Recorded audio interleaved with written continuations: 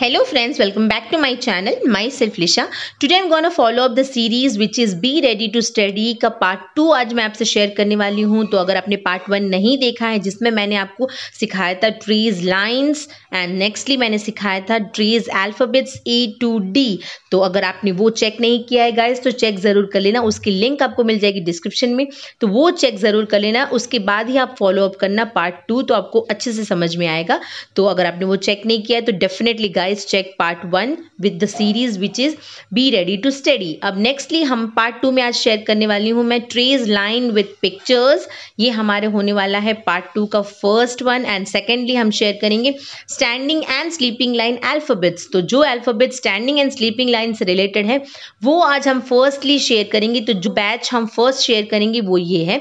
तो अगर आपने अभी तक मेरे चैनल को सब्सक्राइब नहीं किया है तो इस तरह की इन्फॉर्मेटिव वीडियोस देखने के लिए डेफिनेटली गाइस सब्सक्राइब करें एंड बेल आइकन को ज़रूर हिट कर दें ताकि आगे भी आपको इस सीरीज़ की जो नोटिफिकेशन है आपको टाइम टू टाइम मिलते रहें तो आप कोई भी मेरा ये पार्ट मिस ना करें। So let's get into the video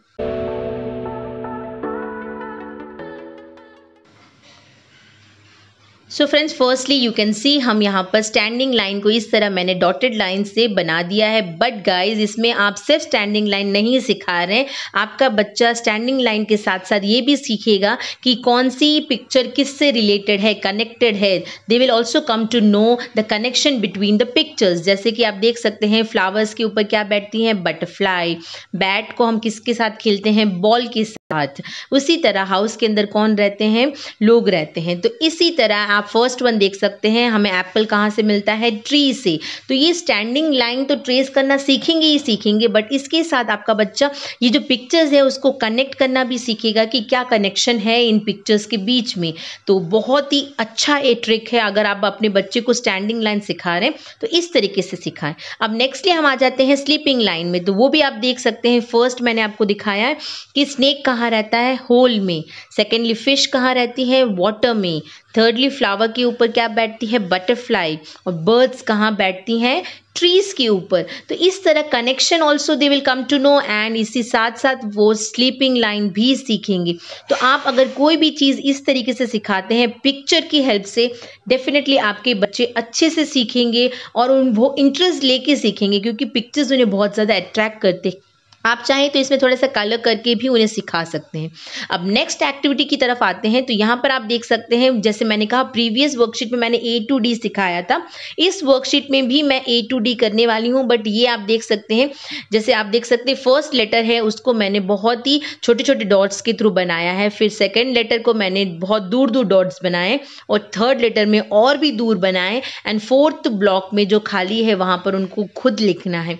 तो इस तरह आप उनका रिविजन रिवीजन करवा सकते हैं, जो उसने पार्ट वन में सीखा था, उसी का ये रिविजन है। और ये इस तरीके से अगेन वो ट्रेसिंग भी सीखेंगे एंड फिर आप देख सकते हैं डिटेल में आप आपका बच्चा इस तरीके से डॉट्स को ज्वाइन करना भी सीखेगा, इस तरीके से ही comes to know the alphabets also तो आप देख सकते हैं लास्ट ब्लॉक में उनको खुद लिखना है, क्योंकि ये फोर्थ पार्ट तक उनको बन जाएगा, खुद कैसे लिखा जाता है। तो this is the right pattern आप अपने बच्चे को इस तरीके से सिखाएँ, ताकि उनको अच्छे से बैठे। आप जल्दबाजी या फिर don't expect more from them आप सोचे कि जल्दी जल्दी वो सीखे तो डेफिनेटली ये नहीं होने वाला है।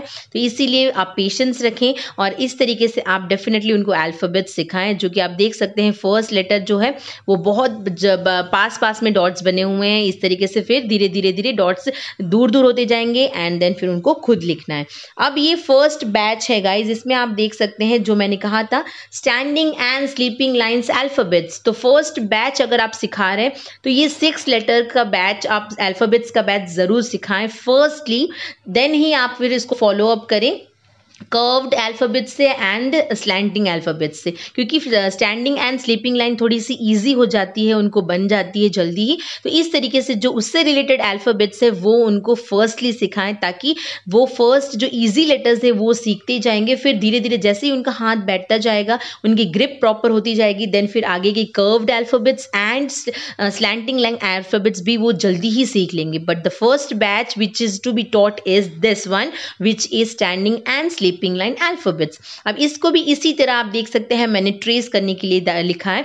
फर्स्टली आप उसके जो डॉट्स हैं, आप ट्रेसिंग जो लाइंस बनाएँगे, वो बहुत पास पास बनाएँगे। नेक्स्टली आप थोड़ा सा दूर दूर बनाएँगे। एंड फिर थर्डली आप देख सकते हैं, मैंने बहुत ज़्यादा दूर बनाया है, सिर्फ़ उनको डॉट्स को ही ज्वाइन करना है।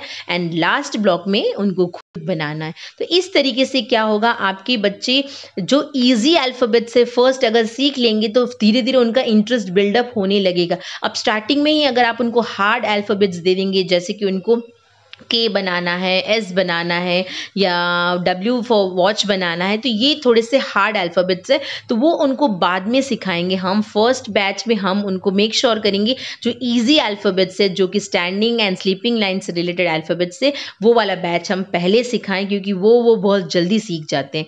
तो अब ये लास्ट ब्लॉक में आप देख सकते हैं, उनको बिना देखे लिखना है क्योंकि इतने बार ट्रेस करने के बाद आई थिंक उन्हें बन जाएगा, भले ही कैसे ही लिखें, लेकिन उनको बन जाएगा। तो ये लास्ट लास्ट ब्लॉक में उनको बिना देखे लिखना है। तो इस तरीके से आज के सेकेंड पार्ट में मैंने आपसे शेयर किए ये standing and sleeping line alphabets जो कि फ़र्स्ट बैच हमारे बच्चों को फर्स्टली जो हम सिखाएँगे, वो होता है ये बैच तभी आपका बच्चा ए फॉर एप्पल से लेके जेड फॉर जेबरा तक बहुत ही आसानी से अल्फ़ाबेट सीखेगा।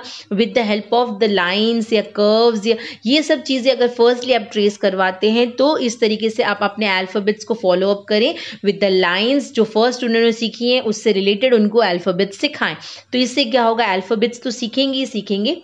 जो इजी है, अगर वो पहले सीखेंगे तो थोड़ा सा इंटरेस्ट बिल्डअप हो जाएगा उनका। एंड ये लास्ट आप देख सकते हैं, वो पार्ट वन में जो मैंने सिखाया था, अगर आपने चेक नहीं किया है गाइस तो डेफिनेटली चेक करना। बहुत ही इंपॉर्टेंट वीडियो मैंने शेयर किया है। तो ये जो सीरीज़ है बी रेडी टू स्टडी उन पेरेंट्स के लिए जो अभी लॉकडाउन के चलते या कोविड नाइन्टीन के चलते अपने बच्चों को स्कूल नहीं भेजना चाह रहे हैं या स्कूल्स अभी स्टार्ट हो भी गई हैं तो they are avoiding because of Covid nineteen तो वो घर बैठे इस तरह उनके बच्चों की जो इनिशियल स्टेज में उनकी स्टडीज़ में हेल्प कर सकते हैं तो ये नर्सरी का सिलेबस मैं आपसे शेयर कर रही हूँ तो आई होप ये आपको वीडियो पसंद आया होगा। If you find it informative don't forget to like share and subscribe my channel तो चलिए फॉलो अप करते हैं।